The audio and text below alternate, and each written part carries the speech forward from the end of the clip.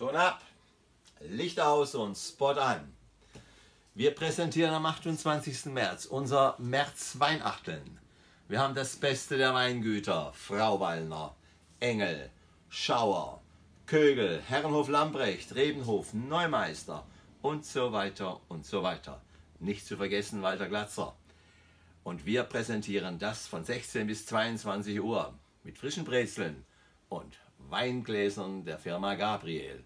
Kommt vorbei, es lohnt sich.